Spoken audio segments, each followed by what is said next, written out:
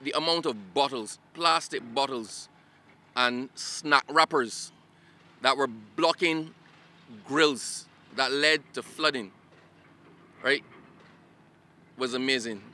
I need the press to work with us. I need you to work with us to encourage Barbadians to please be responsible in the disposal of your garbage. What you drop here might not affect you, but might affect somebody two, three miles down the road when it butts a grate or a well. So please let us be responsible because a lot of what we experience could have been alleviated or minimized if we had been a little bit more responsible.